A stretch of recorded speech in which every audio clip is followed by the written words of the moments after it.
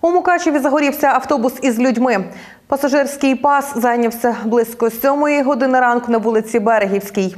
За інформацією диспетчерської служби пасажирських перевезень горів не маршрутний автобус, а так би мовити, приватник, який ймовірно доставляв працівників на розташоване поруч підприємство «Точприлад».